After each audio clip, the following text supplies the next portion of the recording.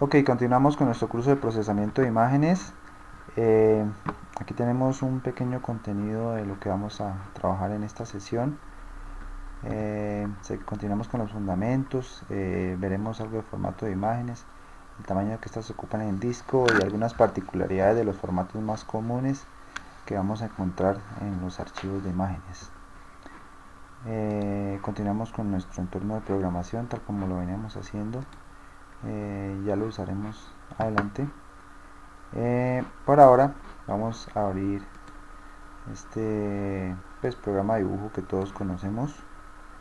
Em, y vemos algunos algunos detalles importantes que debemos tener en cuenta eh, respecto a los formatos de las imágenes. Vamos a bueno tenemos un, un lienzo de 200 por 200 píxeles eh, vamos a ampliar un poco aquí para ver estos detalles.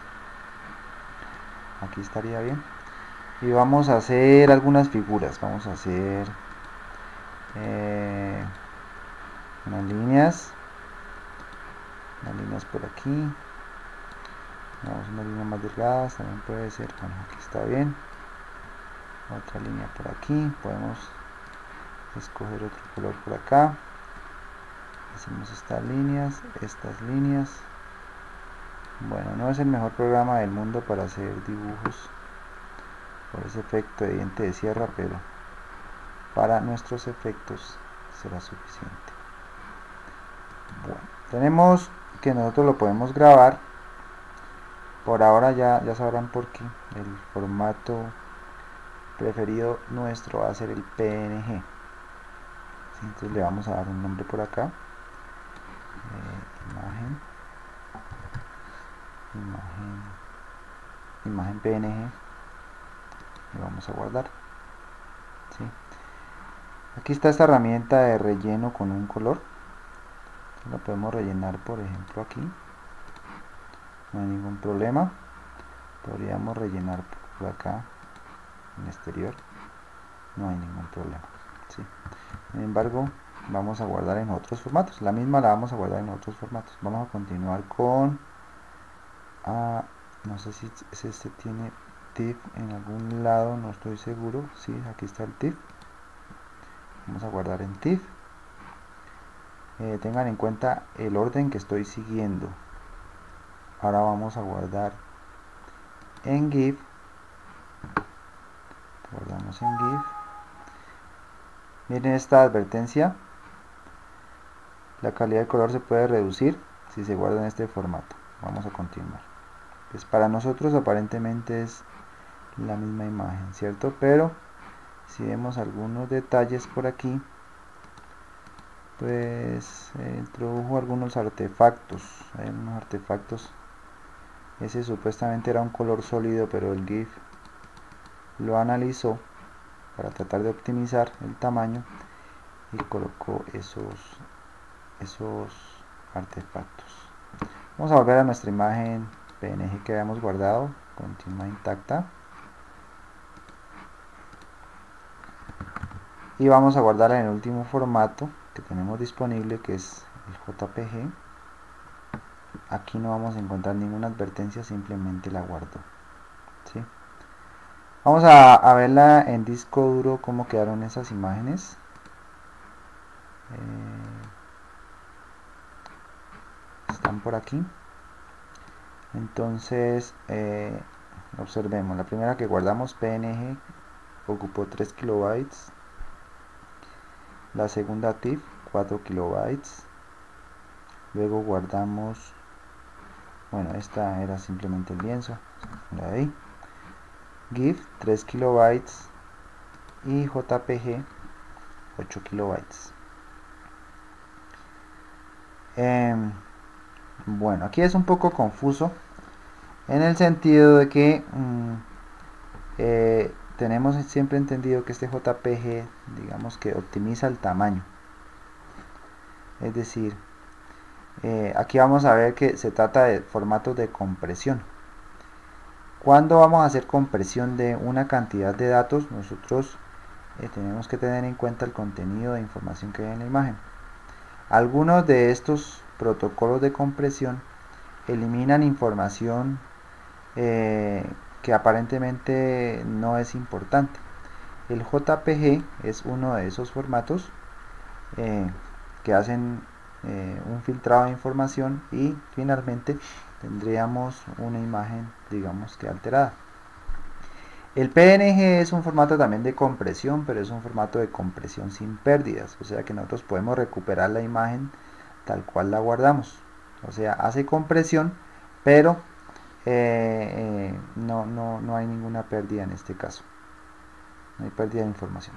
El formato TIFF, bueno, algunas veces permite compresión, pero eh, tal cual lo guarda este programa, no hay una compresión como tal, se guarda bit a bit, byte a byte, uno detrás del otro y no hay compresión. El formato GIF es un formato un poquito especial y muy difundido en internet que hace una compresión y, es una compresión eh, que lo que hace es que guarda máximo 256 colores. Vamos a ver adelante que las imágenes tienen varios millones de colores. Entonces guardar una imagen en formato GIF cuando tenemos muchos colores no es el caso de la imagen que acabamos de guardar. Pero en imágenes de tipo fotografía van a haber miles de colores y si se van a limitar a 256 vamos a tener problema con eso.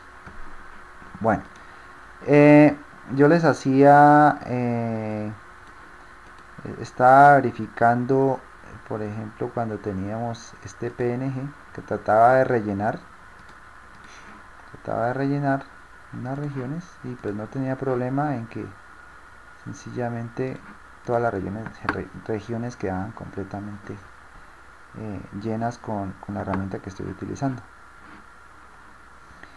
Eh, este es formato PNG. Miremos el JPG.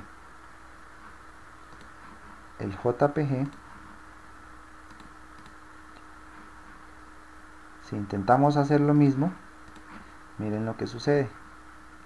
Hagámoslo por acá y miren lo que sucede. Entonces, aparentemente ocurrieron otras cosas. Quitemos estos colores y vamos a ver más en detalle. No sé si sea posible, pero aquí van a aparecer unos cuantos artefactos eh, que dependen de la descomposición en series de bueno en la descomposición de la transformada coseno entonces va a hacer que alrededor de estas estructuras se creen esos artefactos que de pronto en este caso no son tan, tan visibles, pero va a quedar como una especie de basurita. Aquí se, alcanza a ver algo de esa basurita. Alrededor de esto que era aparentemente limpio porque el lienzo no tenía absolutamente nada, lo comprobamos en otros formatos. Pero pues realmente cuando se va a hacer, se, se utiliza esa herramienta, lo que hace es llenar todos los componentes conexos que eh, tiene el mismo nivel de gris, el mismo, el mismo color, digámoslo. Pero cuando llegamos acá a estos ya no tiene el mismo color, entonces por lo tanto no sigue rellenando esta parte. ¿sí? Lo mismo sucede por aquí. Entonces miren la cantidad de ruido y si intentamos llenar, todos esos píxeles son diferentes, entonces no, no, logra, no logra hacer el rellenado que nosotros estábamos buscando. Entonces realmente ahí nos damos cuenta ¿Qué es lo que está sucediendo con el formato JPG? El formato JPG es un formato pues orientado más a fotografías donde los colores están pues hay una gran cantidad de colores y que se cambie levemente pues no va a significar para nosotros la gran diferencia pero eh, si vamos a ver otro tipo de aplicaciones como las aplicaciones médicas, las aplicaciones forenses, las aplicaciones militares, cada uno de esos valores, si se llegan a alterar, pues vamos a tener problemas a la hora de analizar este tipo de información. Entonces el JPG, digamos que es un formato para guardar eh, la información, digamos, pues fotografías, de pronto que hicimos el paseo, que hicimos, eh, eh, pues muchas cosas, tomamos muchas fotografías y sencillamente deseamos guardarlas si no nos interesa la calidad de la información que hay ahí. Entonces, en ese caso podemos usar JPG, pero si nosotros queremos tener la, eh, posibilidad de recuperar los datos tal cual, tenemos que hacerlos, eh, pues por un lado queremos ahorrar disco, el formato PNG no es tan eficiente a la hora de guardar archivos pequeños, eh, eh, pero me conserva toda la información, ¿sí? y esto se ve aquí, el lienzo como les insisto era completamente limpio y aquí pues se observa que eh, esa conectividad sigue existiendo y no tiene ningún problema a la hora de trabajar con esto. Lo mismo con el formato TIFF. Formato TIFF no tiene esos problemas tampoco. Entonces podrá venir a hacer ese asunto, hacer, hacer la, lo que estamos buscando nosotros. Miremos eh, este GIF a ver qué sucede. Tendríamos nosotros, mire que espacialmente el GIF no está siendo afectado, por lo, tanto nosotros en principio podríamos decir no, eh, está, está conservándome la información. Pero si lo hablamos desde el punto de vista de los colores, desde el punto de vista radiométrico, aquí hay una gran alteración de sus valores. ¿sí?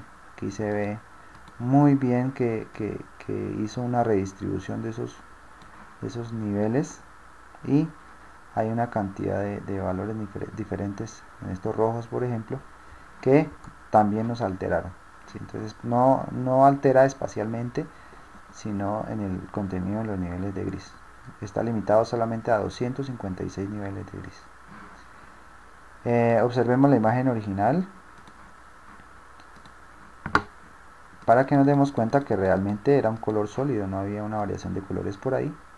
Y pues ahí tendríamos nosotros eh, parte de las ventajas. El PNG no está alterando ni espacial ni radiométricamente eh, los datos que estamos trabajando. Lo mismo el TIFF pero no es de compresión. Em, como esta prueba no fue muy eh, diciente respecto a los tamaños en disco vamos a usar otros digamos que fotografías de las como las tenemos por acá. Eh, lastimosamente las tenemos únicamente en JPG eh, tomemos esta por ejemplo. Entonces hay una cosa. Por ejemplo yo voy a hacer lo siguiente eh, que es guardarla como PNG ahí mismo acaba de guardar como PNG. El hecho de que acabe de guardar como PNG no significa que yo haya restaurado los datos. Los datos que estaban en este anterior archivo JPG ya se habían perdido en el proceso de compresión. Sencillamente el PNG lo que va a hacer es guardarlos tal como estaban en ese JPG y la información ya quedó perdida. O sea que tenemos que tener cuidado con la fuente que, viene, que, tenga la, imagen, porque si previamente estaba en un archivo de compresión con pérdidas, implicará que así lo guardamos en archivo de compresión sin pérdidas o, un archivo que no tenga compresión, no vamos a recuperar esa información. información perdida, perdida se quedó. Entonces aquí solamente lo guardamos en PNG con el ánimo de que eh, comparemos los tamaños en disco. También lo vamos a guardar en TIFF vamos a guardar en TIFF está por aquí. Y vamos a guardar en TIFF me hace la advertencia. Y aquí estaría. Eh, de pronto si podemos observar bueno observemos la calidad. Este PNG que viene del JPG pues miremos los colores de la bandera. Pues tienen las variaciones las sombras propias de, la fotografía. Pero si vamos a observar este GIF acuérdense. Bueno ustedes ven esta escena y aquí hay miles de colores. ¿sí? no son solamente el rojo, el azul el amarillo, el verde y el blanco grises y demás. Podríamos contar seis colores básicos pero aquí vamos a tener todas las variaciones por la iluminación por las sombras etcétera entonces si nosotros contáramos los colores en esta región amarilla hay cientos y cientos de colores. Entonces aquí en toda la fotografía en toda la escena vamos a tener miles de colores.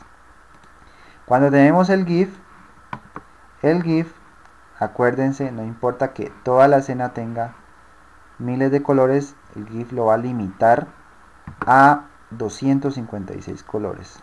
Por lo tanto si vamos nosotros a hacer eh, esta ampliación vamos a ver que pues digamos en el amarillo se va a limitar a unos cuantos colores. Si ustedes ven aquí ya pues que de todas maneras es un formato interesante porque pues hace una distribución de tal manera que de manera global nosotros veamos casi que la misma fotografía pero con la limitante de los 256 colores.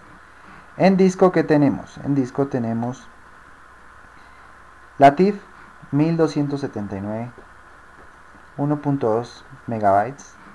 La PNG 1 megabyte aproximadamente. Entonces miren esta TIFF no tiene compresión digamos que sería el valor el valor máximo que debería tener este archivo PNG la analiza y hace una, una compresión es más pequeño el, el tamaño del archivo JPG mire que es un cuarto o un quinto del TIFF, un cuarto del PNG.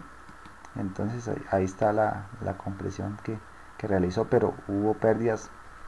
Valga la, aclaración de lo que les estaba diciendo inicialmente, que lastimosamente es una imagen que viene de JPG. Y el GIF con menos colores, bueno, es un archivo muy parecido, pero para el GIF es muy eficiente cuando tenemos eh, imágenes, por ejemplo, de caricaturas que tienen muy pocos colores, dibujos muy sencillos, ahí es muy eficiente. El GIF no es eficiente cuando tenemos fotografías, como en este caso. Entonces, como, conclusión, nosotros vamos a tener que mm, el formato para nosotros, por defecto, va a ser el PNG, porque es un formato que nos permite hacer archivos no tan grandes, pero no perdemos información. En el caso de que ya tengamos que la cámara nos arroja directamente JPG, pues trabajamos directamente JPG. GIF no representa ningún tipo de interés en este caso. TIFF, pues algunos escáneres, algún, hardware por ahí lo, genera, pues se podría trabajar si, si está a disposición. Pero en general para nosotros va a ser PNG y si ya la fuente venía en JPG, pues trabajamos con JPG. Eh, creo que eso es por el momento. No sé qué faltaba. Formatos de imágenes, tamaño en disco. Yo creo que ya es suficiente eh, por ahora. Bueno, nos vemos en la siguiente sesión.